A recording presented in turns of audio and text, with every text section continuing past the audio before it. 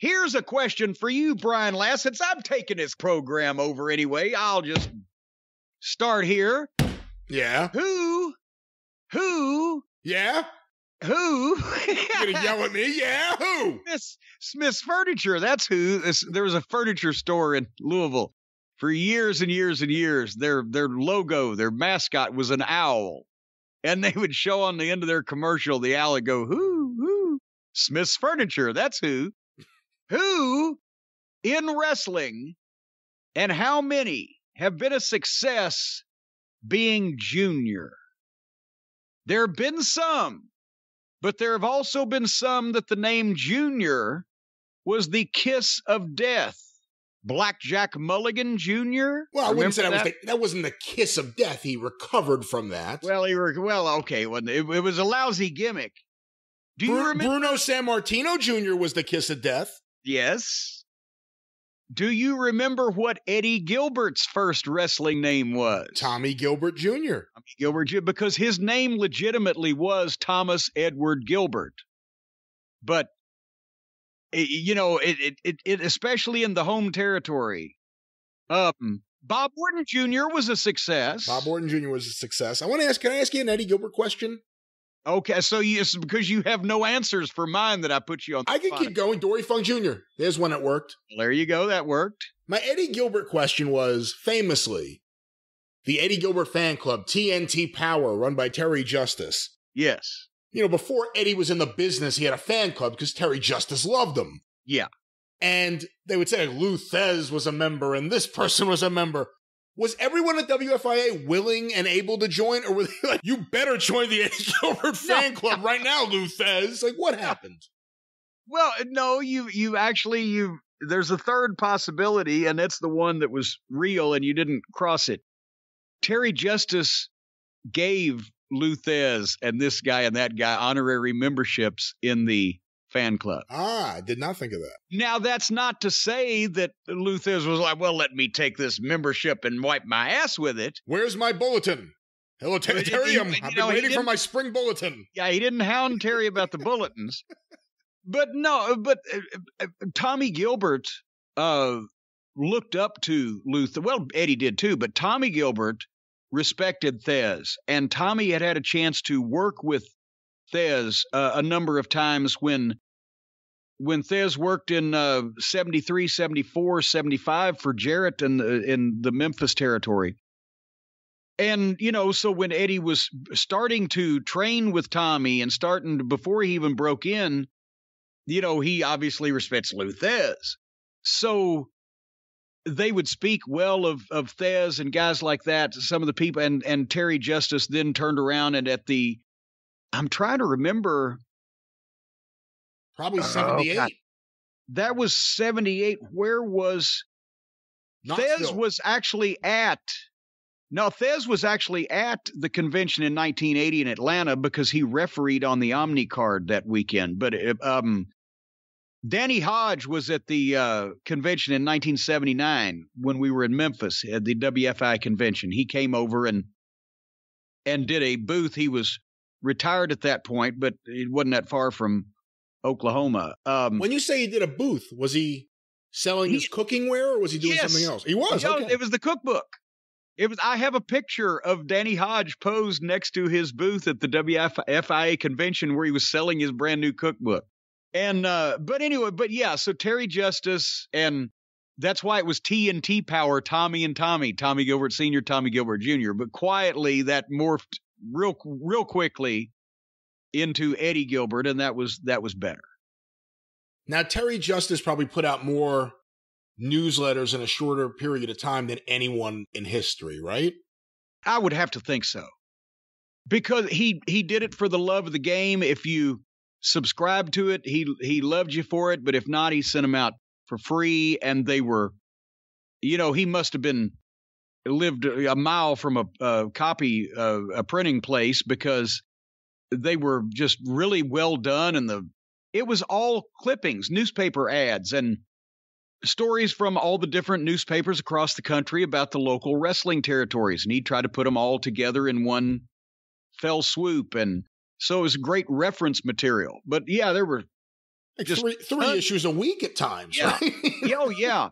And special issues. He did. He did the Eddie Gilbert, uh, Tommy and Eddie Gilbert fan club, but he also did Encyclopedia a, Wrestling is a pretty cool yeah, thing. Regular wrestling bulletin. Then he did the encyclopedia where he'd go back and compile older stuff, and it was just it was crazy. If you you can, he probably would have been if he hadn't got killed in that car wreck. A drunk driver ran into him he would have been all over newspapers.com and all the because he actually had to get shit through the mail or go to libraries and and copy shit. You know, that was the only way to get that stuff back then. Now you can do research online. He would have had bulletins the size of the New York City phone book. Well, back to famous wrestling juniors. Do they make phone books anymore? No, I'm kidding. Um, to- there was a Tojo Yamamoto Jr. Of course, absolutely no relation, but some outlaw guy in Tennessee. That was, I think, the worst case of uh, usage of Junior I can ever think of. Vince McMahon Jr. Now, of course, he's a case like Rey Mysterio Jr., where they were a junior and then all of a sudden they weren't a junior. Well, he's technically not a junior because he's the son of the elder Vince McMahon, but he has a different middle name, which is why that he is always chafed at being called Junior. It's a technicality that no one ever thought of until he started bringing it up. Well, and and also it's even calling him Junior is better than what they used to when his father was still alive, and all the people who knew his dad even after his father passed away, they called him Vinny. Hey, where's Vinny? Vinny. Gary Cappetta still calls him that. There you go and and and especially now the people who at one time did because that was what they called him. Now they enjoy calling him that because they know he doesn't like it. And you know his dad would call him that. The best is like in 84 85 after vince senior had passed and lou albano was still drinking and you just Vinny Jr., Vinny Jr. You know, he was getting a double header. Albano got double heat. and you knew McMahon hated it. You just knew it. Every time he called him Vinny Jr. I think he actually did it before that when McMahon Sr. was alive. That was probably his only protection. He says that. Why can't I say that? Vinny Jr. It's like calling him douchebag von fuckface. You getting it both as okay, I did. I don't remember who this was for, and hopefully they're not listening. But I did one of those private signings one time at one of the Legends of the Ring convention. And it was like 3,000 8 by 10s. And I did this over a couple of nights in the hotel room while I was uh, shooting video. And then we did the convention or whatever. I barely finished these things. And I was so tired and so slappy going in the downhill stretch of the thing when I turned them back into the guy, there's out of those 3,000 8 by 10s, 2,999 of them are signed Jim Cornette. But one 8 by 10 in the middle of the stack somewhere is signed douchebag von fuckface. and I just, I tickled myself to no end thinking who's going to be the one to get the autographed douchebag von fuckface photo. It could be valuable now. Now maybe I've made it a collector's item. Famous wrestling juniors. Yes. Angelo Mosca Jr. There you go. That proves my point again. More often than not, it was a, an anchor around the poor man's neck. So the biggest star, I guess, would be Bruno, where there was a junior.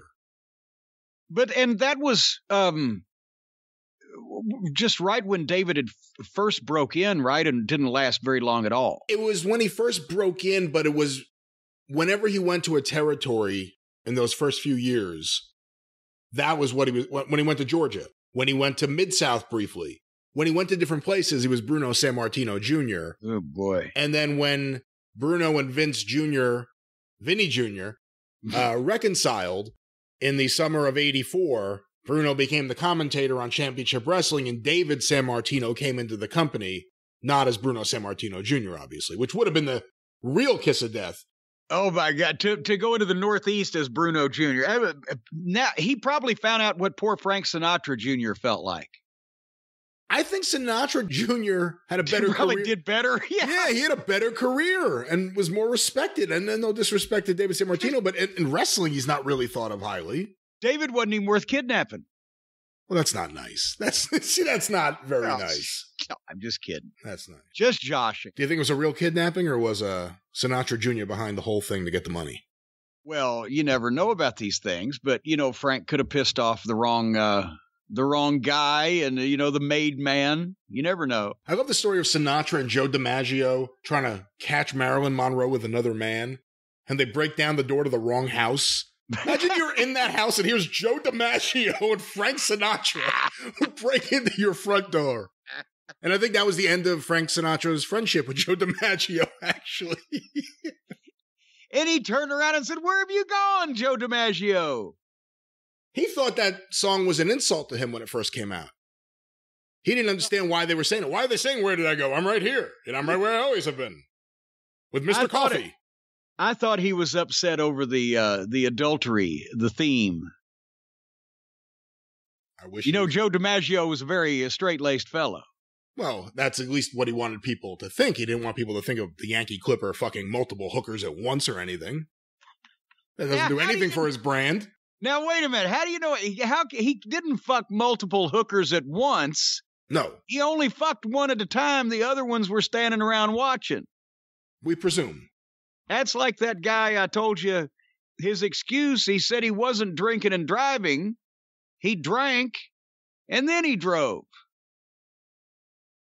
All right. Wrestling juniors, famous wrestling juniors. I, I didn't mean for it to be a big whole long thing. I just, well, here's something. How did we get started there?